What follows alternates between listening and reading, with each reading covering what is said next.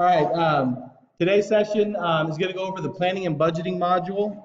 Uh, so it's more of the application, how you enter the information in. And before I started on that, I guess I should introduce myself. I'm Ryan Sullivan with Lucity. I've been an implementer for about 12 years now. So um, out of uh, the group we have in here, is anybody using the planning and budgeting module? All right. Well, we do have a resident expert back here just in case there's any technical questions you guys have. Um, as far as logic related to how you get these numbers, um, I do have a resource to ask, um, and I'll kind of show you more how that data gets into Lucity and how you can kind of look at that data through our system.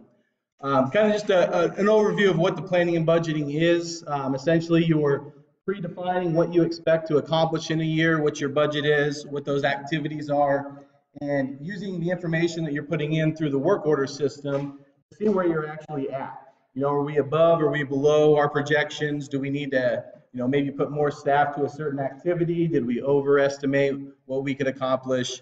And using, uh, again, that detail and that data in the system to be able to look at that. A lot of clients that do use it like to look at that, you know, maybe every other week they have meetings, sometimes monthly, and then obviously you can look at, at the end of the year and see where you're at. Um, so with that said, I'm uh, going to go ahead and get started. We'll kind of start at the top level with the fiscal year. And as we go through this, feel free uh, to ask any questions. So just raise your hand, let me know, and um, we'll go ahead and try to answer them. Uh, so at the top level there, I'm just going to move into the fiscal year. Um, there's not a lot of data here necessarily, um, but it is an essential part of it. Basically, it's that top layer of the, uh, the overall setup where we're just identifying what our fiscal year is. And um, I've got some high resolution here, so I'm going to kind of open the form. Tends to be a little easier to see it from the grid on your own computer, but we're identifying what the start date and end date of our fiscal year is, um, whether that fiscal year has been closed, and uh, a lot of other things here are going to fill in automatically as we feed data up from uh, the work that we're actually doing. So we can see what our estimated budget is. Um, again, we can autofill that um, based on once we start to put in our planning tasks. Um, we've got our approved budget, what we've expended so far, so that's updating throughout the year as we want to get those numbers uh, to show what we've done, what our remaining budget is, you know, where we're at in our fiscal year, the percentage of the budget we've used, and that's kind of looking at it from, again, that top level. Um, you can also track working days. Uh, this example data I have with this client, they didn't worry about that. Um, they did identify their total uh, eight-hour days for their staff. Um, so really at the, the fiscal year, that's just about all you have. There's not really much data other than getting that fiscal year uh, initially set. Um, one other thing, um, as we go through this, we'll kind of come back to it. There is the ability from the fiscal year, though, to replicate that fiscal year from year to year. So when you're in 2018 fiscal year, you want to go ahead and create 19. You don't have to start that process from scratch. You actually can just replicate and then make adjustments based on what your expectations are, uh, where they need to be adjusted. Um, also from the fiscal year, I can come down and expand that and see all of the different departments I have. Um, I've had some clients use this more as a department division setup. So you can see here where they've got you know different departments and then divisions within that. Um, so we can see that from our fiscal year, and in this case, we've also set it up for them from their dashboard. So they can kind of bypass that fiscal year view if they want to um, and go right into the planning departments. Um, they're still in their first year of it, so you'll see some of their numbers are a little bit off. Um, but you can also then see historical years. Again, with filters in the dashboard, you wouldn't even have to see those if you wanted to filter information out. Um, you can expand that down and see the different departments that they have in there. So we could go right to just our roadway ones if we wanted to look at those, or right to our traffic. So I can uh, open that up from there and I can also open it up from my fiscal year by highlighting, in this case, road maintenance, or even a couple of them, we'll say roadway, right-of-way maintenance, and use my open uh, button.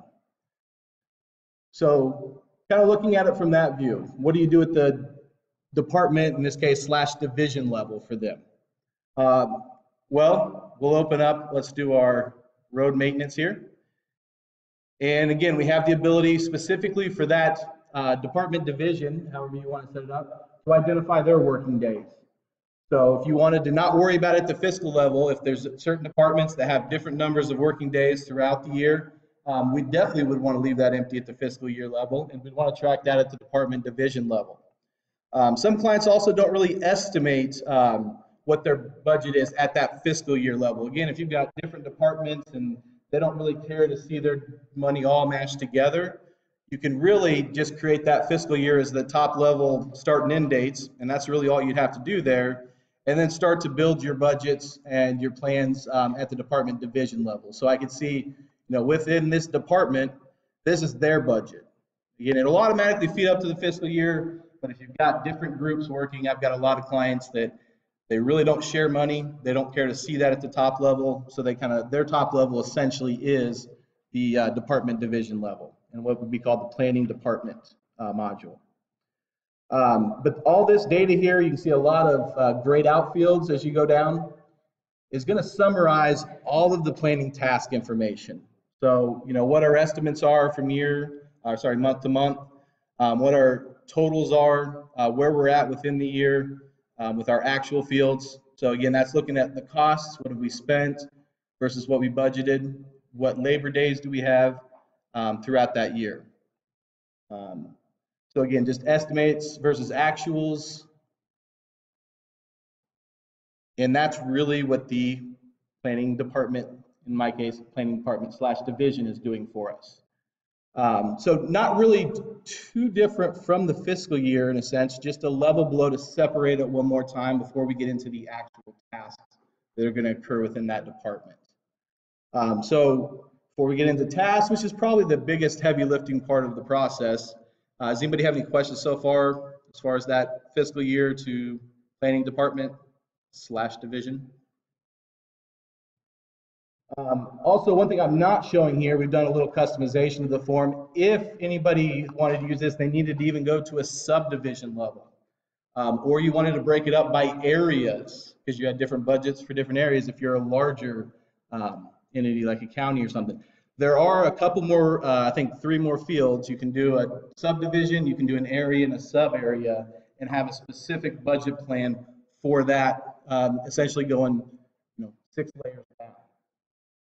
Um, so that's something that I haven't really come across. Anybody needed to go past the division level before, but it would be possible if you needed to do that. All right. Um, so if we want to look at, let's take our road maintenance here as an example. And we can kind of see uh, all the different, by expanding that, planning tasks that we have for that group. So everything they plan to do in the fiscal year 2018, and as we scroll across there, and we'll open the form for it, we can see, you know, where they're at with their budget, what their expenditures have been, um, both on equipment, labor, materials, contractors, what they uh, need in crew days, what they expect uh, available crew, what they expect to accomplish, so on. So we're going to open up um, the tasks section of this. And again, same thing as we had from the fiscal year, I could pick a specific task in here, or I could go to my dashboard, and again, this would be flexible in how you want to drill it down. Um, I can expand down and go just down to my roadway tasks. And I can even take that a step further with the department and get into a specific division. So let's say I want to look at road maintenance. All right. Uh, so when creating a planning task, um, we'll open the form here on one of them. Actually, let's pick a good one. I know one that they have some, some good data on. Um, let's take milling their roads. We'll open that up. When you create a planning task, you're going to first identify what the task is, and that task has to exist in your workflow setup. So you would first create that in the workflow setup um, task module. Uh, that would then make it available here for you uh, to set up. You also will have to identify the category that goes with that. So whenever the system is trying to match your work orders to your planning tasks, those two at the very minimum have to match in the system. And it actually is going to require one more level, uh, which is our department field. So you have to have a task, you have to have a category, and you have to tell us what department it goes to. Um, you can initiate a new planning task from your department view. So if I was sitting here looking at my department view and I wanted to create a, a new planning task for that department slash division, um, all I have to do is hit add, and that's going to immediately associate it to that department, in this case, division for me. You can create it that way. Um, you can simply create it from the task list if you wanted to as well. You just will have to define that department division so it falls under something. All right. So um, a couple other things uh, that we could identify and is really going to be necessary. Uh, even though it's not required, if you wanted to do any of the number calculations for you, you've got to define what are the units of your asset that you want to accomplish. So in this case, they're going to mill roads. They expect to accomplish uh, 63,360 linear feet of milling in this fiscal year. Um, you'll notice right now their unit that they're tracking it in is the same as their task units on a work order. Um, they could have converted this if they wanted to, say to linear miles, if they wanted to do that. We would just have the conversion factor in there so we had those numbers match up. So when they get the work order is in linear feet, the guys are tracking, it's rolling that up and converting it over to miles so they can look at it from the, you know, admin side saying, well, how many lane miles have we got done this year? How many linear miles? So it doesn't have to match if it's cleaner and that's how you actually track it. It's great. It's just going to be a one-to-one factor. Um, otherwise, you can use that conversion and it'd be 50 to 80. Billy, yes.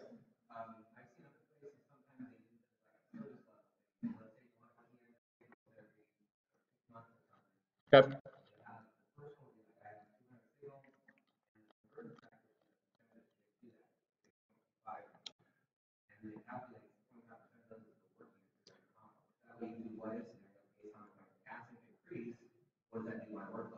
Oh, okay. I haven't had anybody use it that way. Well, I probably have because I've worked with you, but I didn't realize they were using it that way. Um, but yeah, just so it's repeated for the recording, um, what Billy was saying is that we, instead of actually looking at um, saying our units here is what we expect to accomplish in the year and then using that conversion factor, is you could essentially list your entire infrastructure. So, you know, how many lane miles do we have? How many linear feet do we have? And using the conversion factor as a percentage of that that we expect to complete within a year. Um, so that would be, yeah, another way to use it. Anybody have anything to add on that? Make sense? What he was saying there? Both both methods that you could use that conversion factor for. Okay. Um, a couple other things. Um, on the right side here, um, these are going to be necessary again for the calculations. How much do we expect to accomplish within a given year?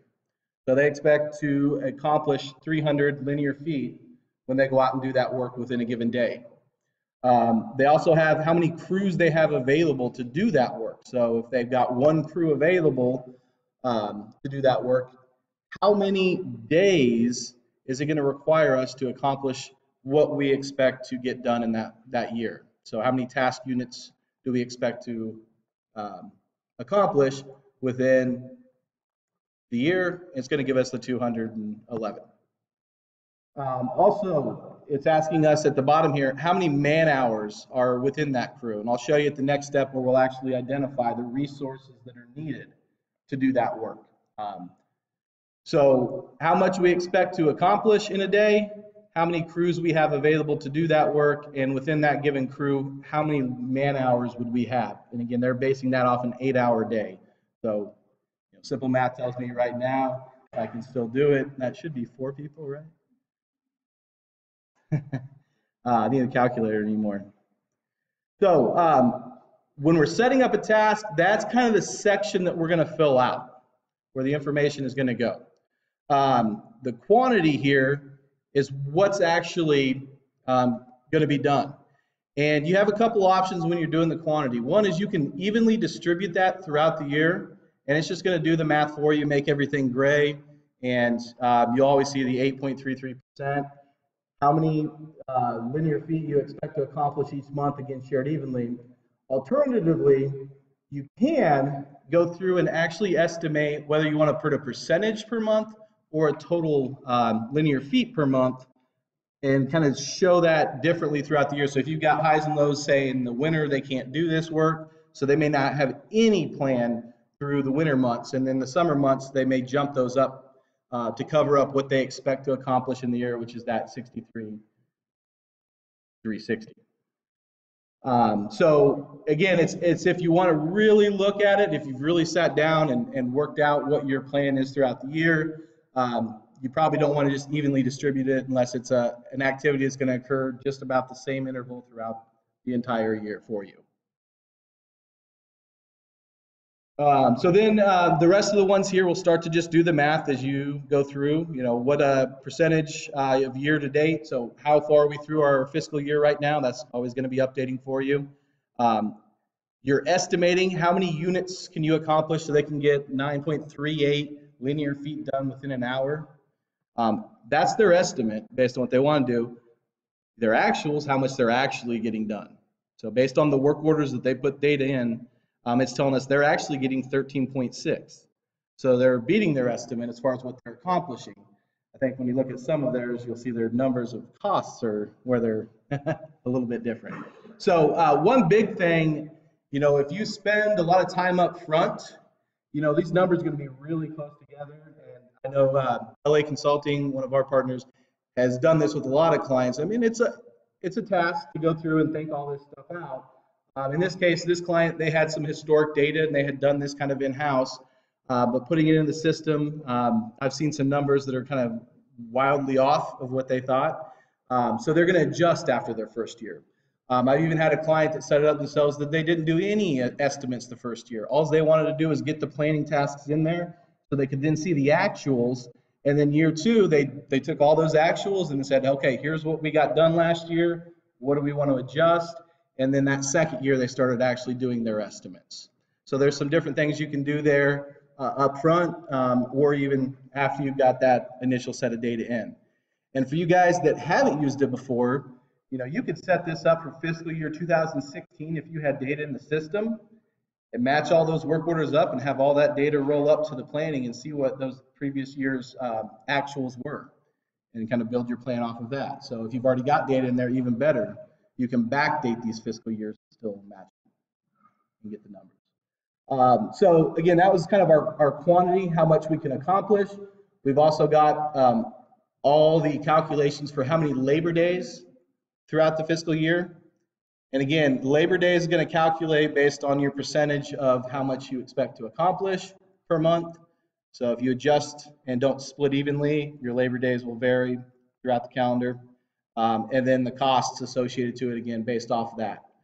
Um, towards the bottom here, um, you've got a summary on the right side there with your costs. So you've got your monthly cost breakdown and what you spent, um, but you can look at your overall labor expenditures, your overall equipment, material, um, how much you have remaining, what percentage of your budget have you used, and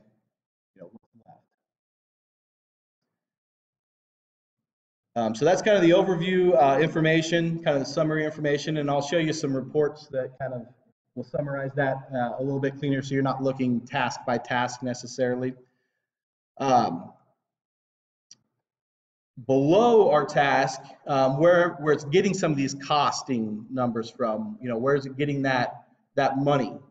Um, if I expand that task, I'm going to see where I can identify what resources are necessary to complete that work.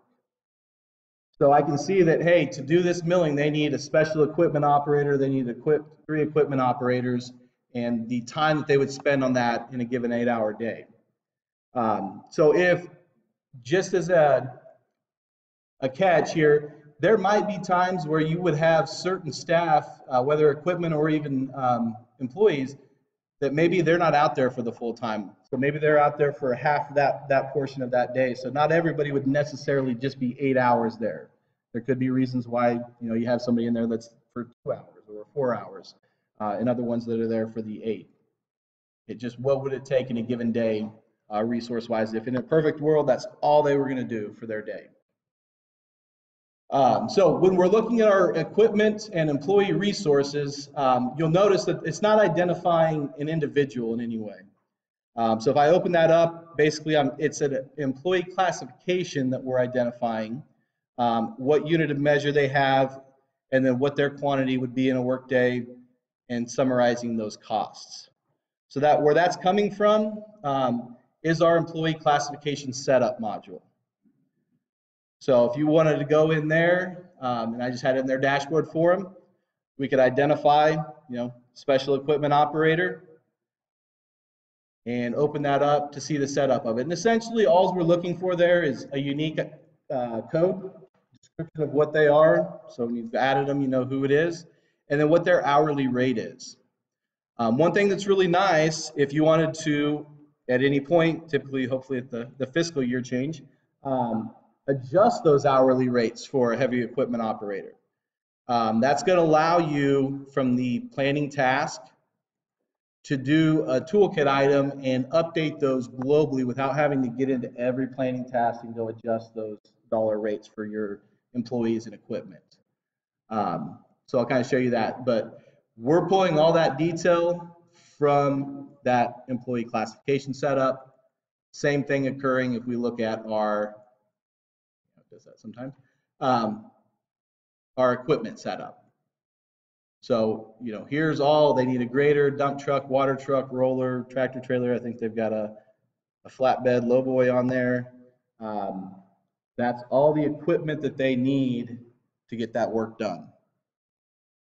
So again, all based on classification. Um, that's not to say if depending on however you're tracking your employee costs within the employee setup module, there could be equipment operators that get paid different rates. So if you're using their actuals, um, and you know whether you want to build in overheads to those actuals or it's their flat rate, um, you want to take that into account when you're setting up those classification rates.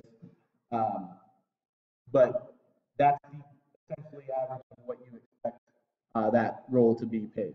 But there will be variations within the work order. Um, and just because you set up these resources to say, hey, it takes these four people to do the work, on a given work order, you could essentially have any employee. So you could have someone that's not one of those classifications uh, do that work if that's what it took. And maybe they did, they were short an equipment operator one day, so they had two special equipment operators on that. Well, that other guy's getting paid extra money, and that's actual money you've spent doing the work, but that's going to have some impact on your numbers um, when you're looking at your actuals, um, not always matching up necessarily perfectly with a plan.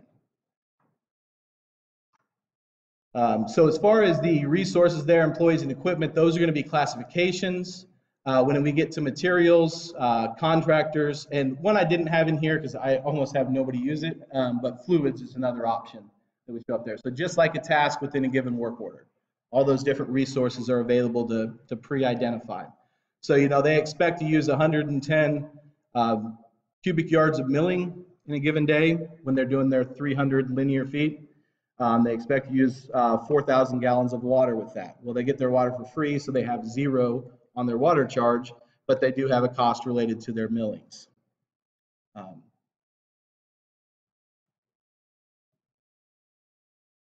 so questions on resources? Pretty straightforward. All right. Um, so a couple other things then we can look at within our tasks.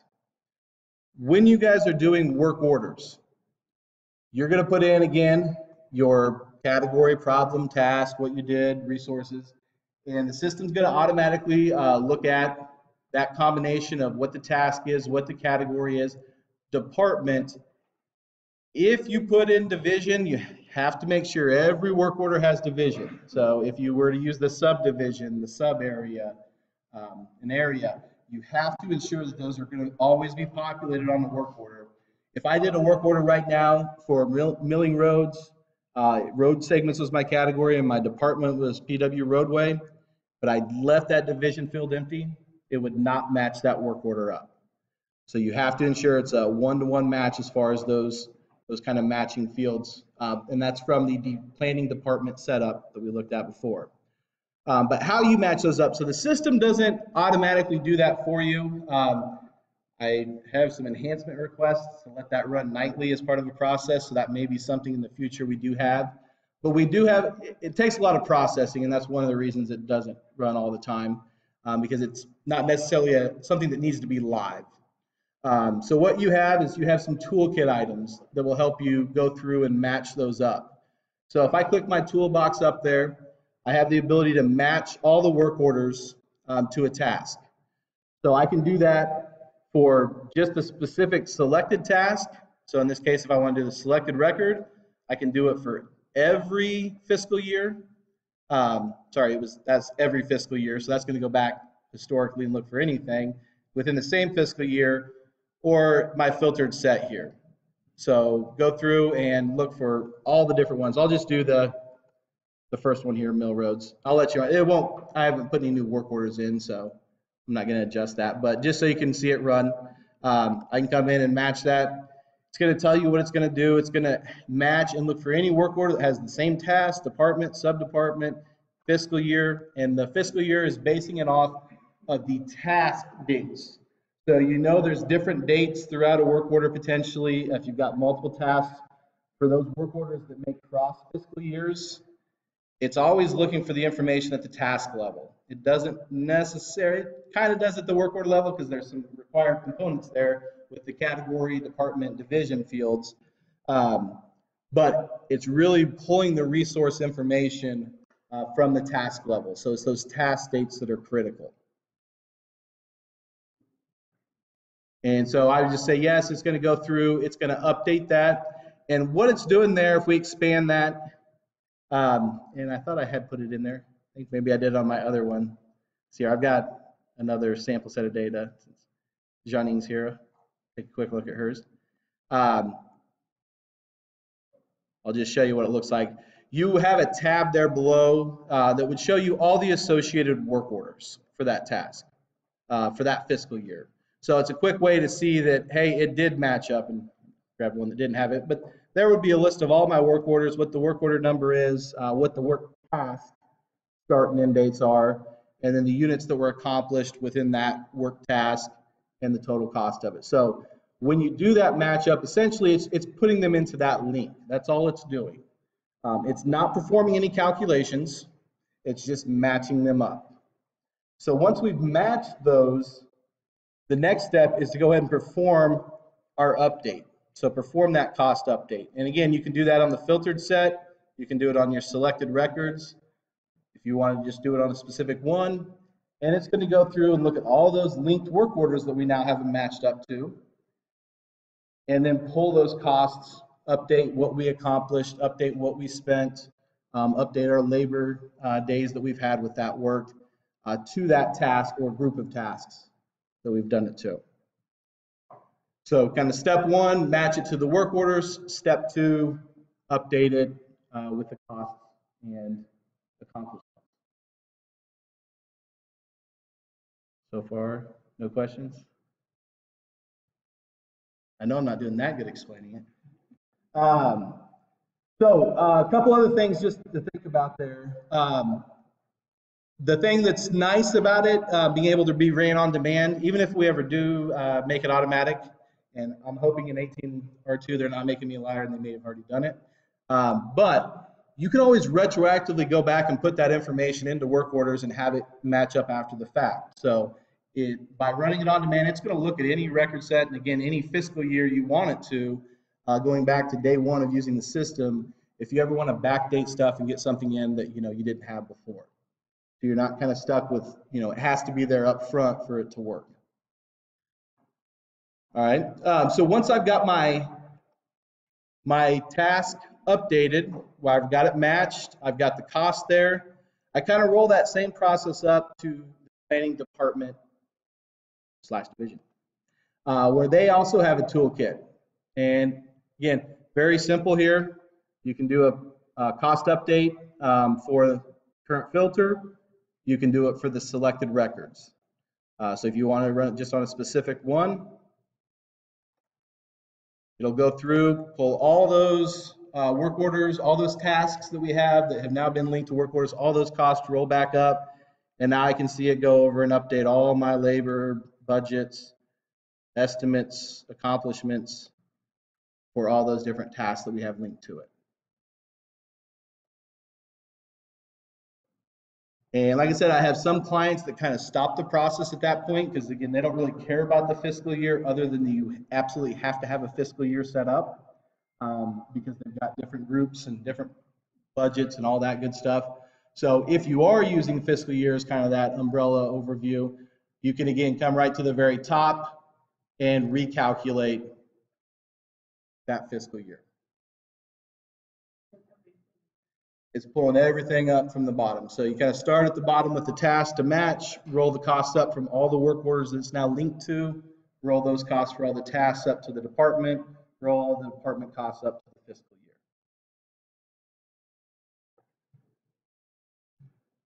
So again, it, it would be nice if it just did that automatically every day for you overnight. Um, and again, it might eventually, but it is a fairly quick process. The one thing that's going to take the most time is matching work orders. So if you want to run a match for a certain uh, fiscal year, say you're right now we're for them about to the end of the fiscal year. If you wanted to go try to match every work order right now, it's probably going to take it 20 minutes to run and try to match all those up just because there's thousands of records it's trying to validate against in the system. Um, so that's probably the biggest effort. Once you got the match in there, the costs are actually fairly quick All right, um, a couple other process things, and I'll, we can take a look at some canned reports. Um, a lot of those we've kind of tweaked. Um, I, I, don't have any custom ones, but I based all of the ones I've customized off of these canned ones that uh, really I think uh, Billy back here probably had a hand in creating. Um, so um, like I mentioned before, one thing you're able to do, say, hey, they're right about the end of their fiscal year. Maybe they're starting to plan if they haven't already. I'm sure they have already, but uh, for 2019's fiscal year, instead of starting again from scratch, they can go in, highlight their fiscal year, and replicate. Um, so it's going to tell you what it's going to copy. It's going to copy all the departments, all the tasks, the cost estimates, quantities associated with the selected year to a new one. So we're going to say yes and put in our start and end dates. Why is it not? Oh. It's been a while since I've had to replicate one. What we first have to do is create our fiscal year with nothing else. See, sometimes you got to be smarter than the system. It usually is not the case with me. Um, so we're going to say, hey, September, into September here, we got October 1st for them. Pick October 1st as our beginning of the fiscal year. And we'll go to September 30th, and I'll update that to 2019. Let me save it. And we'll go ahead and save that. So now that I got it, because this is desktop is the last time I did this, and it's a little bit different. So one thing I should probably point out is this did not become completely web-based until I believe 17R2 or 18.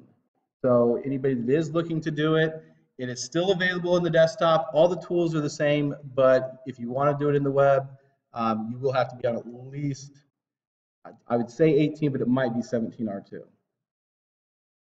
Anybody in here that knows for sure, um, speak up. But so uh, what I'm going to do is highlight my fiscal year.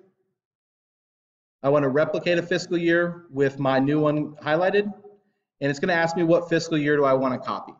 So again, that list could be 2012 all the way up to 18. I pick which one I want to copy, click OK there, and it's going to go through and run and create all those subsets um, as opposed to you having to manually do that process. Uh, so this actually ran fairly quick. I thought it might have taken a few minutes. Um, so as I expand down on 2019, I now see all the same seven departments that I have. If I pull up one of those departments, I can expand it and see all the associated tasks I have for that department already set up for me. And if we took it a step further and actually got into the task, I'm going to see all of the detail that we had from the prior year. So at this point, you know, you can come in and start to make your adjustments uh, based on, you know, a bigger budget based on a staff change. Um, another thing I would recommend that you might do at that point of a new fiscal year is if you know there's going to be a new rate for that classification. So whether you do this before or after you copy the, the fiscal year, it really won't matter. Um, I'd come into my employee classification setup, make my adjustments so again, if I want to say, hey, now they're going to get 2502, make my adjustment there to my classification rate. And at this point, I can run a tool, and I like to use my dashboard. This is why I kind of like the drill downs here, where I can, if I refresh this maybe, there we go. I can come into my 2019 uh, link here. Get all of my 2019 tasks that I've just copied over and come up to my toolkit. And I don't know why it won't let me do it on all of them. I might have to highlight them. I thought I could do them all, but um, I want to do a, where's my, there we are, very last one. Update my resource costs using the classifications. So it'd be nice to be able to do that against the current filter. So you lo- looks like you would have to select the records, um, each task individually to do it. Um, but that would allow me to go ahead and automatically update those against all my 2019s. Um, it will not retroactively go back and change my 2018s. So don't worry that you have to wait till 2000, you know, the first day of 2019 to come change your employee classification rates. Just make sure you don't run that update on your 2018 tasks unless there's a legitimate reason to. If you have a, a number in there wrong for the year, you need to go in and adjust it. Go adjust it in your classification, run that tool and all those tasks through that previous fiscal year, and then rerun your calculations and you'll see a change in your numbers. Your, uh, your plans. You won't see a change in your actuals.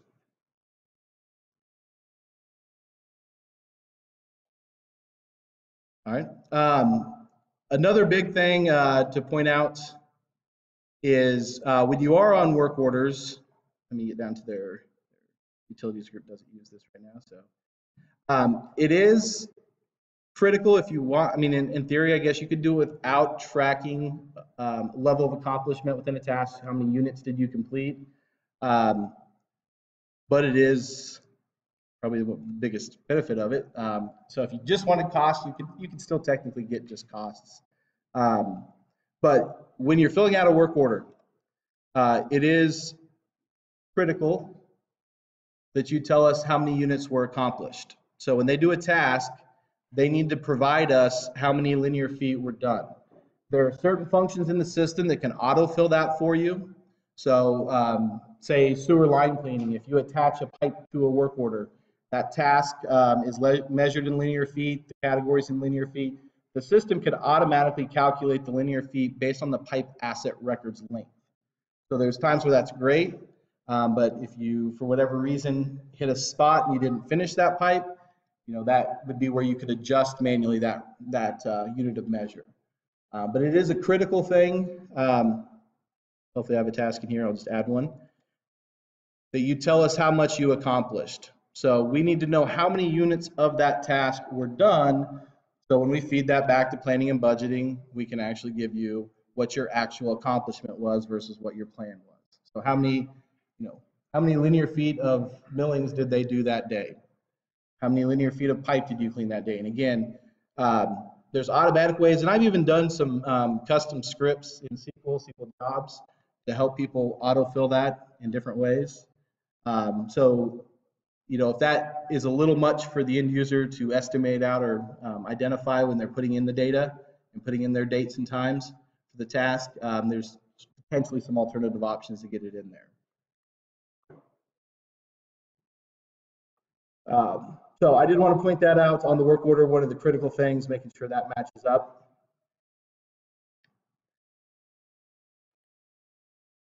Other than that, I, was, I, I can show a couple of reports, but you guys have any questions before that scenario? Billy, yes.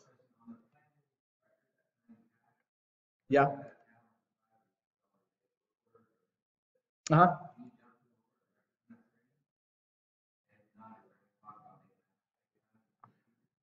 Uh, you can't yet. I can tell because there's not a button there for it. Um, I can put that in. Yeah. Um, I, I was looking also up here to see if there's a relationships button, which there's not. Um, that would have been another way to get to the work orders potentially. But um, yeah, I can add that as an enhancement. I think that would be helpful, especially if you see numbers that are way off and just want to get right to it to correct that work order. It'd be a quick way to jump to it.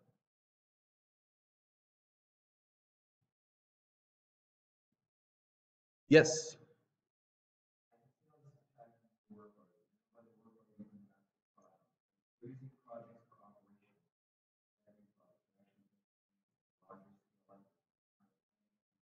Mm-hmm.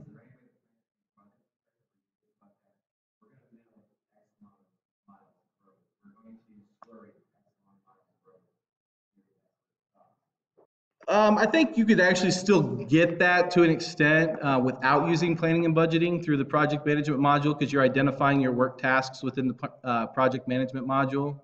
And what your actuals are would, would roll up there and be reportable. Um, I don't know that it would it would give you kind of the breakdown that the planning and budgeting module would do for you, like on a month by month basis. Um, I think you'd probably be looking at custom reporting to get that that detail if you wanted to out of uh, project management versus planning and budgeting, but there's not really a, there's really no correlation in the system between planning and budgeting and not currently, but that's something we could definitely look at. But yeah, they're really two standalone things doing two different functions. And just for the recording, he just wanted to know if there was any way to marry up the planning and budgeting versus the project management um, modules.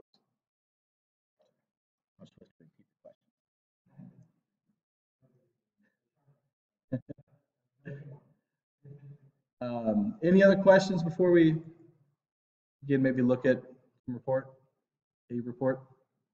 Um, let's see here. I think there's some data in, in one of these I've got. So uh, again, you could run the reports uh, on a specific task. Uh, you can also run it against the department. You could run it on the fiscal year, but uh, as an example here, maybe I'll go into 2017 sewer division. And um, they've got some custom reports. I don't have those locally, so I'm not going to show that. But you could do um, the planning department summary. So we'll just run that report there, do advanced, we'll just do on selected record, run a little bit quicker.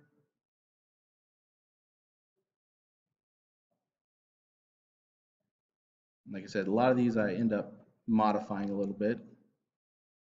Maybe it'll run.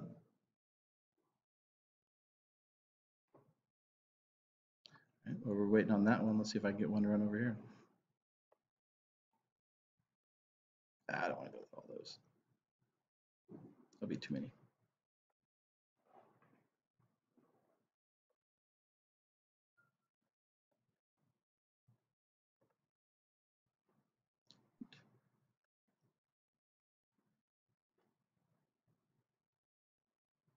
Well, I know one of the big ones uh, is the plan versus actual report. Um, I think Billy, that's one of your big ones too, and that, you use, if you remember. um, and I might have to restart. I I was getting tricky and logging in two different clients at the same time, and I probably screwed up my report system. Let me see if I can just do a refresh and get away with it.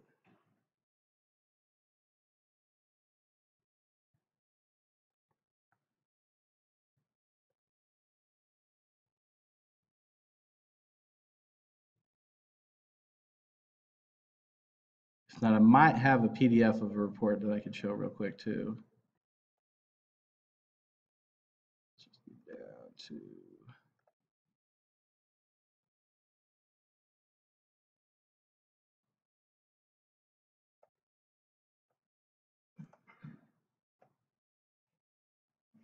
Yeah, there we go. Yeah, I think it's a dual login. Um, so first thing we do in our report there is identify our fiscal year. So you could run this uh, for a specific month or over a group of months if you wanted to. Um, so, you know, if we want to just run it for January, we could. If we want to run it for the first quarter of the year, we could.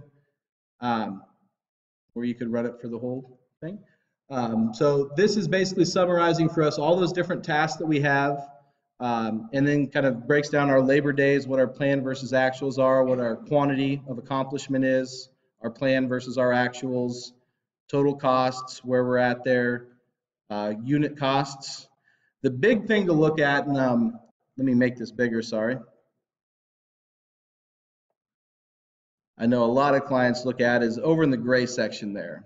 So, you know, they're looking when they run this report, where's the red items? Where's something I need to really look at? Um, so, you know, we expected to do, in this case, their year-to-date plan for Labor Days was two. They've already done 27. So they're 130, 1,392% above what their expectation was there. So yeah, that might be as simple as going in and adjusting that plan for that task um, and the units that we have um, time we plan to spend. You know, running the cost updates and adjusting that to get those numbers where they think they should be. Um, also, what they've spent there, uh, what they've accomplished. So yeah, they've spent more time, but they've also accomplished more than they expected to. So maybe there is a reason why that number uh, before is red because we've done a lot more than we planned on. Um, so you know, stuff that's lower, you know, hey, exact opposite there. We're you know, 75 days. We've only spent two days so far uh, doing that work, and we've only accomplished 102 out of 75,000. Um, so that's uh, probably the biggest report that I see. Um, and again, like I said, that could be run, you know, for a single month. Um, but that's something you can review regularly to see where you guys are at throughout the year, as opposed to waiting until the end of the year and seeing where everything is.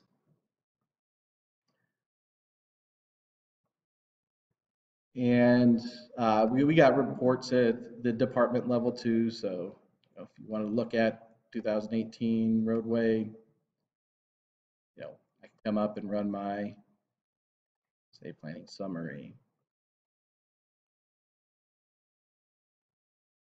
And just kind of give you a quick summarization of those different, uh, you know, we'd probably throw division in here um, since they're using department division, but uh, where their estimate was, where their actual kind of lumps together. I think in PDF this looks a little bit better actually. Um, it tends to when you print them. Um, where they're at percentage wise, over under, and then there's there's detailed report in there. Kind of did the same thing, just doesn't lay out quite as easy to read. Um,